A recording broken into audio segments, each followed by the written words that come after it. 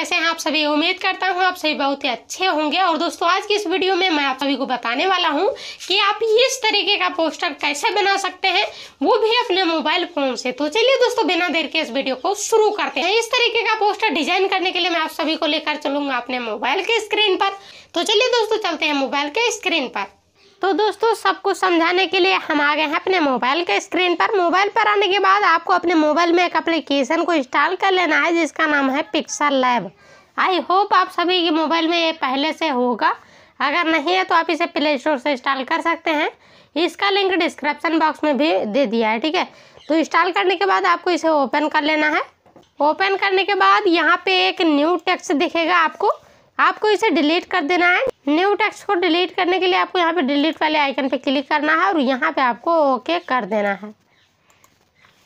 इसके बाद में आपको यहाँ पे थ्री डॉट पे क्लिक करना है और यहाँ पे आपको यूज़ इमेज फ्रॉम गैलरी पे क्लिक कर देना है। सीधे आप अपने गैलरी में आ जाओगे, यहाँ पे आपको एक पोस्टर बैकग्राउंड मिल जाएगा, आपको इसे सिलेक्ट कर लेना है। इसके बाद में ओके कर देना है। यह पोस्टर बैकग्राउंड आपको हमारे वीडियो के डिस्क्रिप्शन में मिल जाएगा। आप वहाँ से बड़ी ही आसानी से इसे डाउनलोड कर सकते हैं। डाउनलोड करने से पहले ध्यान रहे, मैंने ये जो पोस्टर दिया है, यह एक जिप फ़ाइल में है और जिप फ़ाइल में लगा है पासवर्ड तो पासवर्ड आपको इसी वीडियो में दो जगह पर स्क्रीन पर शो होगा, ठीक है? इसी वीडियो में दो जगह स्क्रीन पर शो होगा। तो आप पासवर्ड को फ़ाइल में डालकर एक्सट्रैक्ट कर सकते हैं। इसके बाद में पोस्टर को प्राप्त कर सकते हैं। तो डाउनलोड करने के बाद आपको इस पोस्टर को इस एप्लीकेशन में ऐड कर लेना है। इसके बाद में दोस्तों आपको कुछ डिज़ाइन इसमें नहीं करना है। सिर्फ़ और सिर्फ़ आपको अपना फ़ोटो लगाना है और जो भी आपका नाम हो मोबाइल नंबर हो या आप सोशल मीडिया आइकन्स लगाना चाहते हैं तो वो आप यहाँ पर लगा सकते हैं। बस चुटकियों में आपका जो पोस्टर है वो तैयार हो जाएगा। तो चलिए मैं आपको तो चलिए मैं आप सभी को बारी बारी से बता देता हूँ कि आपको इसमें फ़ोटो कैसे ऐड करना है और अपना नाम कैसे ऐड करना है। तो फ़ोटो ऐड करने के लिए आपको सबसे पहले प्लस के आइकन पे क्लिक करना है और यहाँ पे आपको फ्रॉम गैलरी पे क्लिक कर देना है। फिर से दोस्तों आप सीधे अपने गैलरी में आ जाओगे। यहाँ पे आपको अपना एक फ़ोटो सिलेक्ट कर लेना है। तो मैंने एक फ़ोटो सिलेक्ट कर लिया है। फ़ोटो को सिलेक्ट करने के बाद यहाँ पे आपको ओके कर देना है।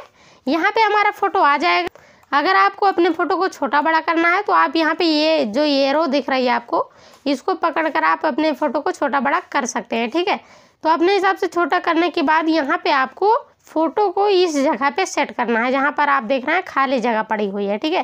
ध्यान रहे दोस्तों, जो आपका फ़ोटो है वो पीएनजी होना चाहिए। पीएनजी होगा तभी आपका फ़ोटो सही से पोस्टर में दिखेगा। अगर आप फ़ोटो को पीएनजी बनाना नहीं जानते हो तो मैंने इस पर ऑलरेडी वीडियो बना दिया है अपने चैनल पर। आप हमारे डिस्क्रिप्शन में जाकर उस वीडियो को चेकआउट कर सकते हो, ठीक है? इसके बाद में फ़ोटो को पीएनजी बनाना सीख सकते हो।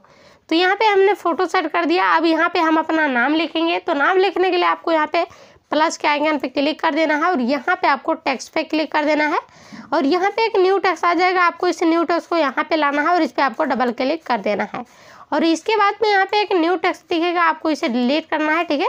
डिलीट करने के बाद यहाँ पे आपको अपना नाम लिखना है, जो भी आप लिखना चाहते हैं तो मैं यहाँ पे अपना नाम लिख देता हूँ। यहाँ पे मैंने अपना नाम लिख दिया, इसके बाद में ओके करेंगे। यहाँ पे आपका नाम आ जाएगा, ठीक है? ये प्रॉपर दिख नहीं रहा तो आपको यहाँ पे ये वाले ऑप्शन पे क्लिक करना है और आपको थोड़ा स्क्रॉल कर लेना है, ठीक है? स्क्रॉल करने के बाद आपको कलर पे क्लिक करना है और इसका कलर आप यहाँ पे चेंज कर दीजिए, ठीक है? टेक्स्ट का कलर आप यहाँ से चेंज कर दीजिए, इसके बाद में ओके कर दीजिए।